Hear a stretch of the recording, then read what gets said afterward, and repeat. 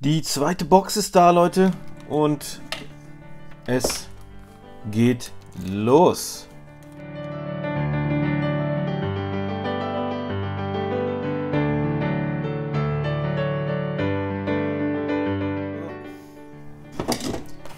Die zweite Box, Leute. Ähm, ja, ich bin wirklich gespannt, was wir hier aus dieser Box rausziehen können. Auf jeden Fall nochmal einen dicken Shoutout an Margin Cards ähm, für die Boxen, dass ich die auch so schnell bekommen habe. Und hier haben wir auf jeden Fall schon mal eine Super Rare. Eine Super Rare Trunks.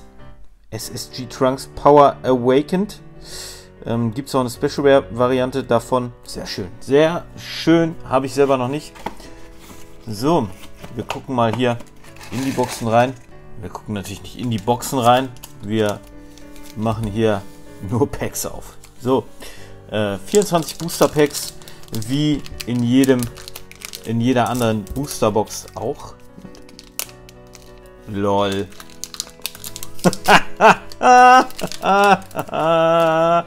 Leute, der, der, mit den God Packs tanzt ist wieder zurück. Ah, Mist! Ah, nee, ich wollte, ich wollte keine God Packs mehr haben, Leute. Wisst ihr warum? God Packs sind schlecht für die äh, Secret Rare Bilanz. Ja. Äh, God Pack. Ja, lass uns mal durchschauen. Foil Vegeta, Foil Son Goku und im ersten Pack, Alter. Äh, noch eine Foil, Samasu in Foil, Vegeta Foil Leader Karte, sehr, sehr nice. Schön.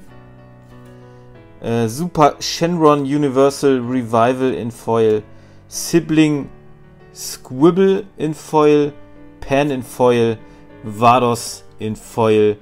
Da haben wir unsere erste Super Rare. Hit Assassin Strike.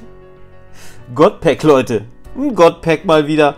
Äh, wir haben schon lange keinen Godpack mehr gezogen. So, die nächste Super Rare.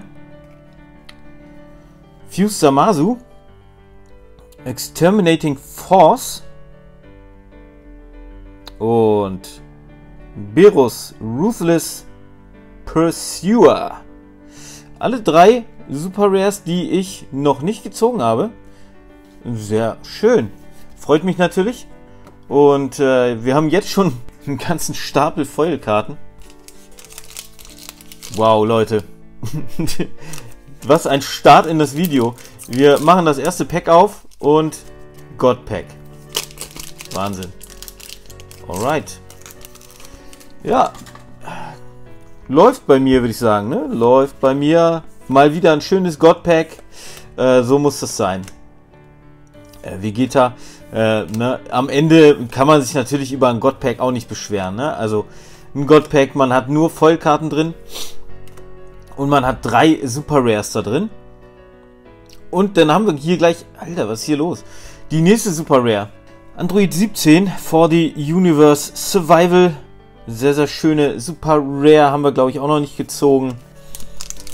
So, nächstes Pack. Wie gesagt, ist die zweite Box.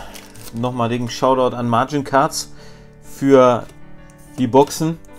Äh, ja, wir werden mal gucken, wie viele Boxen hier noch auf dem Kanal geöffnet werden. Also eine dritte werde ich auf jeden Fall noch aufmachen hier auf dem Kanal. Dann werden wir natürlich noch ein paar... Alter, und es geht weiter hier mit den Hits. Ey, die habe ich in der letzten Box auch gezogen. Mit so einer riesen fetten Printline hier von oben nach unten. Und hier unten war auch noch eine Printline. Ähm, ja, jetzt haben wir hier nur so eine kleine, ne? Könnt ihr die sehen? Kleine Printline. Besser als so eine riesige. Ähm, ja. Schön. Äh, okay. Wir haben gleich schon alle Hits aus dem Display rausgezogen.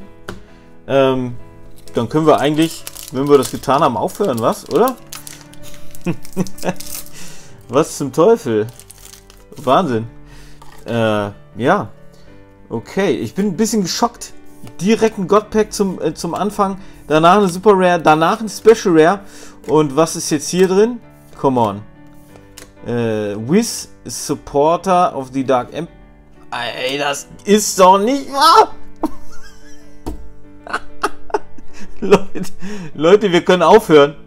Wir können aufhören, Booster aufzurissen. In, ohne Witz, in vier Boostern. Alter, guckt euch diese geile Karte an. In vier Boostern, Leute. In vier Boostern haben wir jetzt rausgezogen, was man aus einer normalen Box rauszieht. Ne, plus Boxtopper halt, ne? Zwei Specials und äh, fünf Super Rares. Okay. Ich bin ein bisschen. Äh, keine Ahnung, was ich jetzt machen soll. Ähm, ja. Krass. Krass. Krasse Scheiße. Okay. Wir machen trotzdem weiter. Wir haben ja noch ein paar Booster da. Und äh, gucken mal, äh, was da noch so drin ist. Ähm, aber ehrlich gesagt, ja, ehrlich gesagt ist es jetzt eigentlich äh, pointless, hier die Booster Packs weiter aufzureißen. Denn alles, was man rausziehen kann, da kann man sich eigentlich die Booster hier eher ins Regal stellen. Verkaufen würde ich die jetzt nicht. Hier ist ja offensichtlich jetzt, das ist wie gewogene Packs in Pokémon.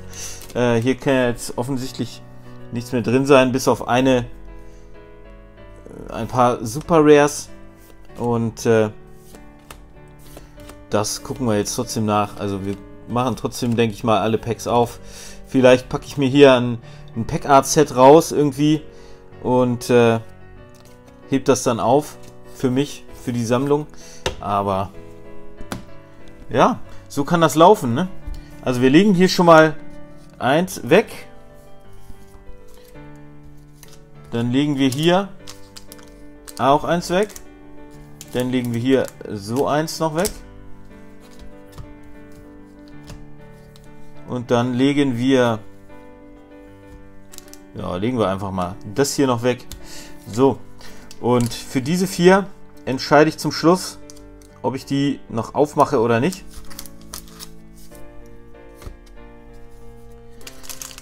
Wenn ich noch nicht so ganz zufrieden bin, oder der Booster Aufreißdruck. Ihr kennt diesen Druck, den Booster Aufreißdruck.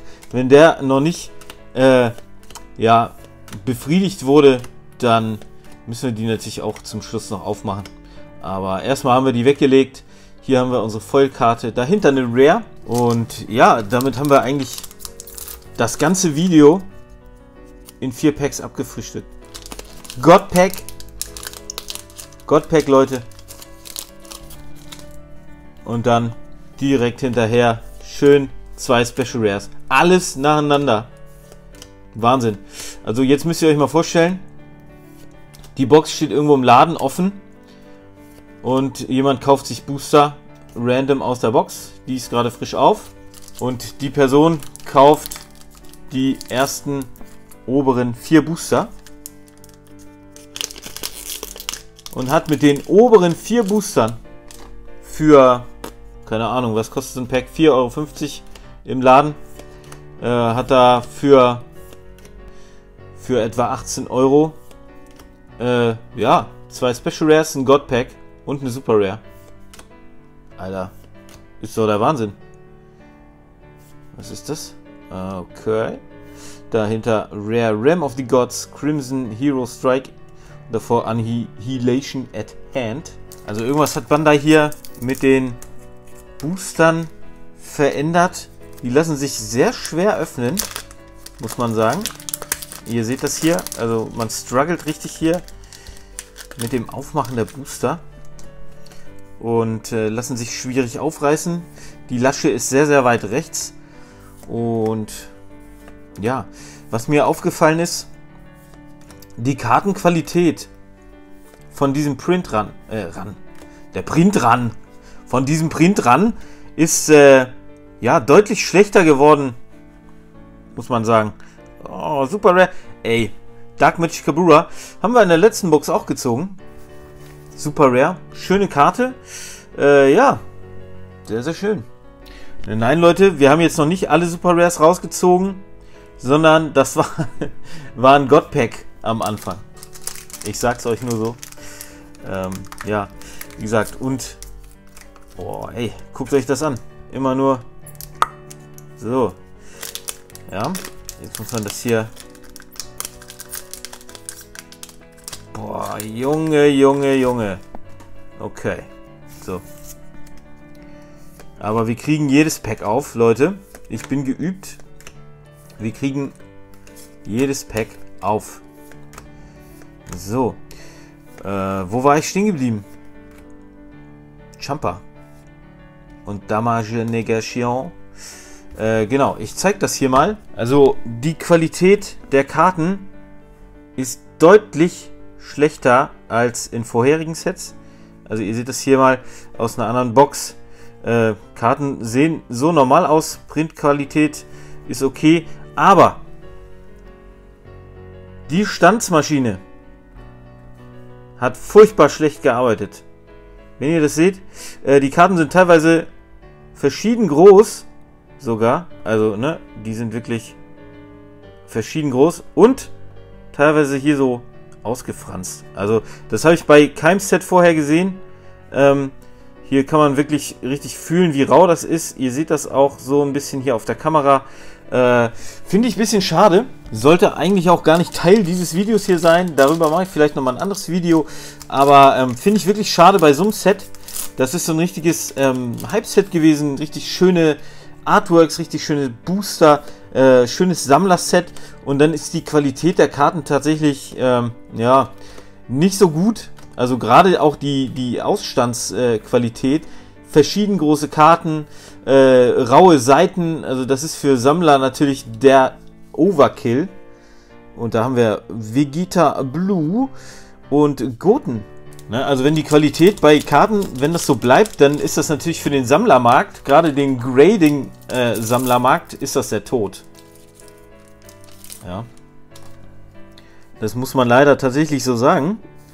Und äh, schade, also diese Karten, die hatten wirklich eine absolut, absolut hochwertige Qualität in damaligen Sets. Äh, da kam überhaupt nichts dran ran, also nichts, äh, Pokémon nicht mal im entferntesten und äh, auch nichts anderes. Und jetzt wird die Qualität tatsächlich, wir sind mittlerweile in Set 16 und die Qualität der Karten nimmt ab. Wollen wir mal schauen, wie das im nächsten Set aussieht. Ähm, wir haben ja schon auch mehrere Runs gesehen. Jetzt gerade auch bei dem letzten Box-Opening haben wir ähm, Printlines gehabt, natürlich ganz ordentlich. Wir haben auch in vorherigen Sets Printlines gehabt. Ähm, aber so wie auf dieser Karte, die ich da gesehen habe oder gezogen habe, das, sowas habe ich noch nicht gesehen. So eine Printline, das ist schon, äh, das ist schon heftig. Unsere nächste Super Rare, yes! Alter, Alter, guckt euch diese Karte an. Nice. Super Rare Son Goku Kaioken. So. Okay. Tja, äh, die Kamera ist eben ausgegangen. Einfach so. Das hatte ich irgendwann schon mal. Und dann ist das Video weg gewesen. Und ich habe jetzt auch kontrolliert. Und der Rest dieses Videos ist auch nicht da. Ähm, hatten wir, wie gesagt, aber schon mal. Und dann war das Video am Ende doch da irgendwie. Also es hat irgendwie ein bisschen gedauert, bis das Handy das umsetzen konnte. Ich weiß nicht genau, woran das gelegen hat. Aber ich mache jetzt hier einfach mal ganz normal weiter. Und gucken wir mal, ob wir das nachher dann so zusammenschneiden können. Aber wir haben hier auf jeden Fall schon mal eine ganze Menge Sachen gezogen. Wir haben Godpack gezogen, Leute. Im allerersten Booster aus dieser Boosterbox haben wir ein Godpack gezogen. Shoutout an Margin Cards an der Stelle nochmal. Und lasst, gern, lasst gerne einen Daumen nach oben da für dieses Video. Und äh, da haben wir Blue Son Goku und Vegeta. So, insgesamt noch vier Booster dort liegen. So richtig viel können wir, glaube ich, nicht mehr ziehen. Also wie gesagt, wir haben schon das God Pack rausgezogen hier im ersten Booster. In den nächsten drei Boostern haben wir dann eine Super Rare und die beiden Special Rares gezogen. Hier haben wir jetzt nochmal Champa Leader-Karte in Foil. Das ist unsere zweite Leader-Karte in Foil. Hier aus der Box. Und äh, Realm of the Gods Ultra Instinct Rare Karte. Wisst ihr, was mir gerade mal wieder auffällt? Gibt es davon eine Special Rare Variante? Ist das eine Rare Karte, die es in diesem Set als Special Rare gibt? Diese Realm of the Gods, äh, diese Realm of the Gods Karten? Ja, Leute, Alter, fällt mir gerade auf. Wir haben in diesem Set wieder Rare Karten, die als Special Rares dabei sind. Schaut euch das mal an. Realm of the Gods Crimson Hero Strike, Realm of the Gods Crimson Hero Strike. Das ist B16 125.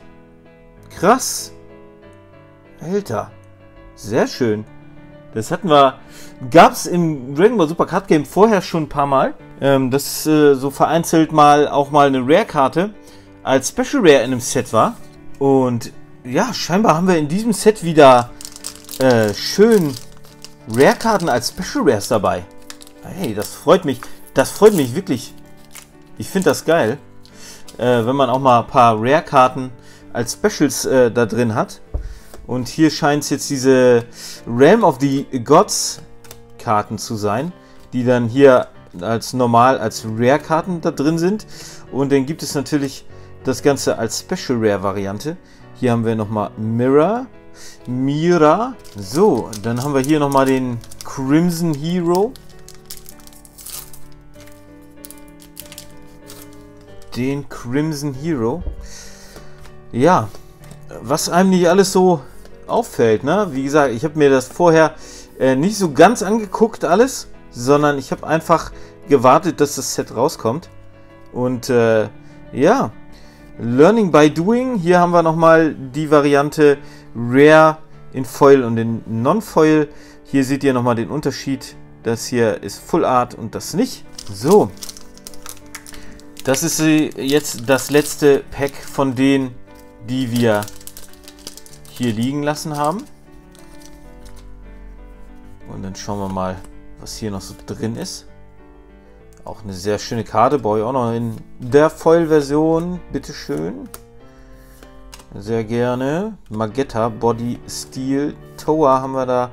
Bulma und Rare Trunks. So, Leute, und ihr, ihr habt das mit Sicherheit schon gewusst. Ich kann das nicht lassen. Ich kann die Dinger nicht zulassen, wenn die hier offen rumliegen. Ähm, okay, bei dem beim Tournament of Power Pack ist das was anderes, aber hier müssen die Dinger aufgerissen werden. Und äh, ich kann auch nur jedem empfehlen, wer sich für dieses Set interessiert, ähm, der kann auf jeden Fall aktuell zuschlagen. Die Preise sind moderat, ne? also äh, es könnte teurer sein. Wer weiß, vielleicht geht das Set tatsächlich auch nochmal im Preis ein bisschen hoch. Ähm, oder vielleicht sogar auch ein bisschen runter. Das sagt mir meine Kristallkugel nicht. Aber ähm, jetzt ist auf jeden Fall eine gute Zeit, ins Dragon Ball Super Card Game einzusteigen. Auch für alle, die einfach mal ein paar Booster aufreißen wollen. Boxen sind im Moment relativ günstig, gerade auch die Second Print Runs von Vermilion Bloodline und Rise of the Unison Warrior. Da könnt ihr natürlich auch zuschlagen. Pan haben wir hier nochmal eine Rare-Karte. So, dann haben wir hier nochmal den Crimson Hero. Zack. Universe 7 Unfight oder Unpfeifet. Keine Ahnung. Sorry, Leute. Son Goku, Vados, Robelu, Vegeta, Berus, äh, Supporting the Dark Empire Coercion, äh, Annihilation at Hand, Moginan und Rare Goku Black. Also, es läuft darauf hinaus, dass wir hier noch ein Pack haben. Und jetzt ist das Ding auf. Und äh, schätzungsweise war es das auch mit dem Puls. Ähm, was ein bisschen schade ist. Also wir gucken mal, was hier hinter ist. Ähm, aber wir haben drei Super Rares aus der Box gezogen. Regulär. Dann natürlich ein God Pack. Womit wir jetzt statt fünf regulären Super Rares, wenn hier nicht auch noch ein Super Rare ist, äh, wir ziehen erstmal. Und danach besprechen wir. So. Whis Son Goku, Vegeta, äh, Gohan, Frost, Shenron, Planet Muginan Monster Magetta. Vados in der Vollversion. Und dahinter nur eine Rare. Sibling Squibble. So, und jetzt Bandai. Ich weiß nicht, äh, was das soll, aber wir haben zwei Special Rares. Das ist der Standard, zwei Spe Special Rares pro Box. Dann haben wir äh, drei Super Rares gezogen. Jetzt fragt man sich natürlich, drei Super Rares pro Box. Und normalerweise wäre das kein God Pack. Hätten wir hier vielleicht nur noch eine Super Rare drin. Das heißt, es wäre eine Box mit nur vier Super Rares gewesen. Ähm, ja, weil hier jetzt ein God Pack drin war, haben wir drei Super Rares dazu.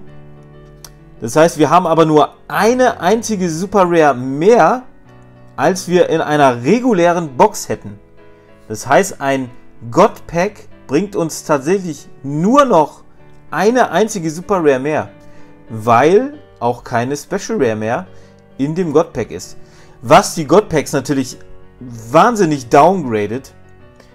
Ähm, ja, also Leute, wenn ich jetzt mal ehrlich sagen muss, ein God Pack ist nicht mehr das, was es früher war. Und äh, also man freut sich natürlich immer, ein God Pack zu ziehen, ist immer eine coole Sache, ganze äh, Pack mit Vollkarten. Aber äh, Value ist einfach überhaupt nicht mehr da. Eine Super Rare mehr, dafür die Special Rare da raus und dafür noch eine Super Rare weniger in die Box packen. Ähm, ja, Bandai, ich weiß nicht, ob das so okay ist. Ich finde es nicht so geil. Ähm, aber das äh, entscheiden Leute an anderer Stelle, nicht ich. Das müssen wir so hinnehmen. Äh, Godpacks sind Godpacks. Und äh, ja, ihr wisst, ich ziehe äh, gerne und oft Godpacks. Und damit, Leute, ja, würde ich sagen, äh, schönes Video. Schöner Start vom Video. Wenn der Rest noch da ist, dann schneide ich das zusammen. Ähm, ich sage erstmal ciao. Wir sehen uns im nächsten Video. Leute, lasst gerne ein Like da, wenn euch das hier gefallen hat. Und äh, ich sage ciao, ciao.